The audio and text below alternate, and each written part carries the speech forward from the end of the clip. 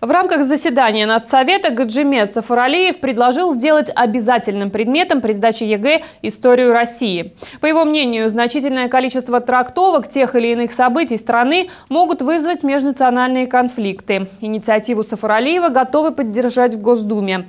Подробнее о законодательных инициативах народных избранников расскажем в обзорном материале программы.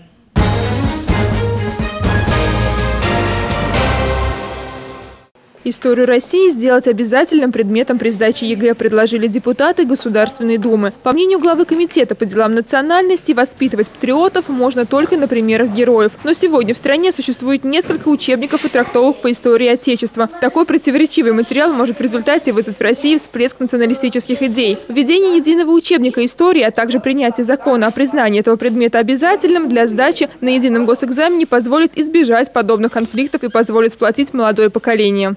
В Уголовном кодексе может появиться новая статья, по которой будут судить за взятку суммы менее 10 тысяч рублей. Преступление будет классифицироваться как небольшой тяжести и будет рассматриваться мировыми судьями. Такое предложение упростит процедуру расследования и будет происходить в форме дознания.